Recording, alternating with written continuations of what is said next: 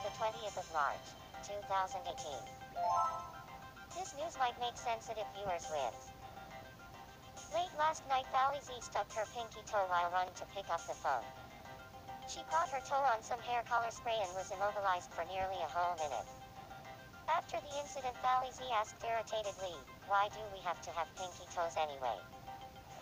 We asked some islanders for their thoughts on the matter. I've got better things to do. Is this really serious? Thanks for watching. For your Mii News for March 20th, this is Jace Neon, signing off.